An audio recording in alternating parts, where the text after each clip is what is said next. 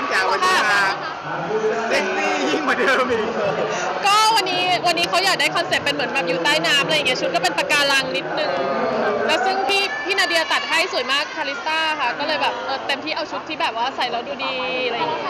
แบบแอบคนแอบอะไรนิดนึงไหมคะ safe หมดแล้วค่ะ อยู่วงการนี้นะคะ ถ้าแรกๆอย่างเงี้ยเอาไม่อยู่ต้องโดนแอบถ่ายแน่นอนแต่ตอนนี้เอาอยู่แล้วค่ะ safe ทุกอย่างไม่หลุดอะไรได้ไม่หลุดไม่หลุดมี safe เต็มที่เต็มที่หลายคนลุ้นมากกว่านั้นแต่ก็ปิดทันนะคะวันนี้ ชุดสวยค่ะ นานๆได้เซ็กซี่เป็นยังไงบ้างครับนานๆได้เซ็กซี่เป็นยังไงบ้างหรอ ก็จริง ๆ ก็ดีค่ะ แต่ก็ไม่อยากเซ็กซี่บ่อยแหละ เพราะว่าแล้วแต่งานถ้างานใหญ่ๆอย่างนี้จริงๆงานเปิดตัวพรีเซนเตอร์เราก็ต้องแบบเออเอาให้สวยแบบเอาให้ลูกค้า happy อะไรอย่างเงี้ยค่ะแล้วร้อนอย่างนี้ความเซ็กซี่ดีกรีร้อนแรงขึ้นมาเรื่อยไม่ลดเลยดีค่ะ อยากจะก็ถ้าเซ็กซี่แล้วดูดีก็โอเค จะได้แบบมีคนมองบ้างอะไรอย่างเงี้ย จะมีถ่ายเซ็กซี่เวลาร้อนไม่มี เพราะว่าวุ้นว่าช่วงนี้คนอาจจะแบบไม่ได้แบบเน้นแบบถ่ายเยอะมากอะไรอย่างเงี้ยค่ะก็อาจจะให้รออีกสักพักดีกว่า จริงๆคือเราไม่พร้อมหรือยังไง ไม่รู้ว่าตอนนี้ยังไม่ค่อยเห็นคนถ่ายอะไรเงี้ยเราก็ไม่อยากจะเปิดซิงขนาดนั้นที่แบบช่วงที่แบบยังไม่มีใครถ่ายแล้วอยู่ดีเราเปิดอะไรเงี้ยมันก็รอก่อนแล้วกันค่ะถ้าเราเปิดนี่มันจะคือฮากว่าเออเราต้องแบบ เอาให้คนไม่ด่าดีกว่าเออ มีแบบว่าภาพๆหรือยังไงไหมคะช่วงนี้ไม่มีแต่ถ้าหลังจากวันนี้อาจจะมี จริงๆพอเราโตขึ้นแล้วเรารู้สึกแบบต้อง safe ระวังมากก็ระวังมากขึ้นนะเพราะเราผ่านประสบการณ์โดนแอบถ่ายทุกมุมของชีวิตมาแล้วเลยมันก็ตอนนี้ก็ safe ขึ้นแล้วก็แล้วก็ปลอดภัยขึ้นเยอะ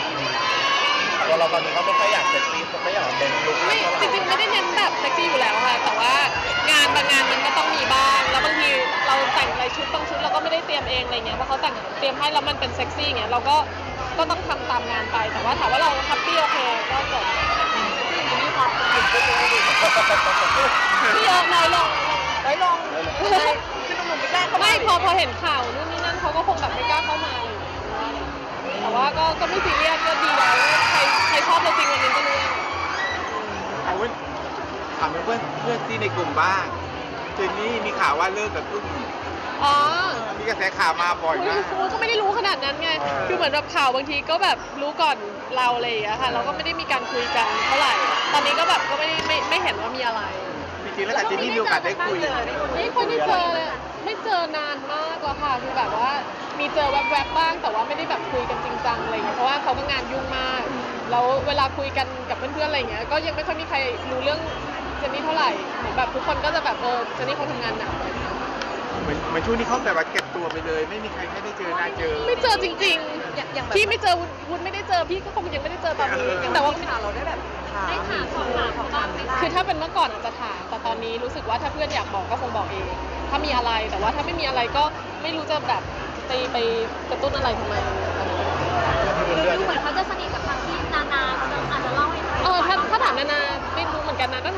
จจะอาจจะรู้มากกว่าวุ้นนะแต่ว่าไม่แน่ใจว่าเขาพูดกันหรือเปล่าหรือว่ามีอะไรหรือเปล่าตอนนี้คือข้อมูลวุ้นไม่มีอะไรเลยอะเออเลยตอบแทนไม่ได้ เหมือนกับช่วงนี้กลุ่มเราจะไม่ให้เหนียวแน่นเหมือนเดิมแล้วเปล่าวุ้นจะห่างคือแต่ละคนงานเยอะมากแล้วบางคนก็แบบไปไม่ห่างกันคือยังสนิทใจกันเหมือนเดิมแบบคุยกันเหมือนเดิม แต่ว่า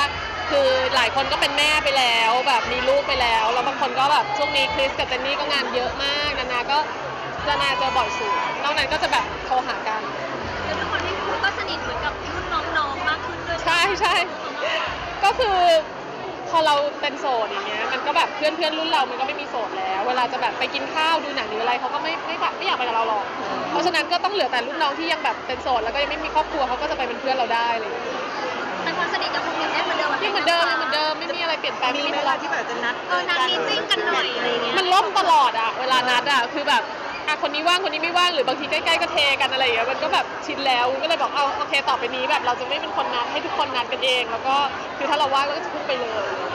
แสดงว่านัดกันแล้วล่มบ่อยใช่ไหมบ่อยมากค่ะคือแม้นานๆไปล่มๆบ่อยเดี๋ยวเก่งแต่ต่างมันเก่จะงแบบก็ห่างย่อยเหิกันนอะไรมันเงี้จะยห่างเหินกันไปมันมันมันโตแล้วอะก็จริงๆวุ้นก่อนหน้าที่จะแบบ สนิทกลุ่มนี้วุ้นก็มีเพื่อนหลายกลุ่มอยู่แล้วเราก็ manage ได้อะไรอย่างเงี้ยค่ะเพราะฉะนั้นถ้ากลุ่มนี้ไม่ว่างเราก็ยังมีเพื่อนๆอยู่ไม่เป็นไรมันไม่ได้แบบ ไม่ได้ถึงขนาดแตกแยกก็คือยังเป็นหัวเป็นใยกันเหมือนเดิมจริงๆเราเบื่อไหมคะเรื่องแบบกลุ่มแก๊งแต่คนจะชงชงอะไรอย่างเงี้ยเชื่อไหมว่าไม่ค่อยรู้สึกอะไรมาก ตอนนี้เหมือนหัวใจมันด้านมากความรู้สึกมันแบบเอาเหอะพูดอะไรก็ได้อะไรอย่างเงี้ยวุ้นไม่ค่อยซีเรียสมากเพราะว่าเอาที่ชีวิตจริงแฮปปี้ก็พอแล้วค่ะใครจะว่าอะไรรับหลังเราอยู่ที่เขานะ คือวันถามเรื่องละครนิดนึงเห็นว่าเล่นต้องบทบทหญิงรักหญิงเนาะอะไรอย่างเงี้ยก็ดีใจที่แบบคนเชื่อแล้วก็แบบได้แบบแฟนคลับเยอะมากที่เป็นแบบ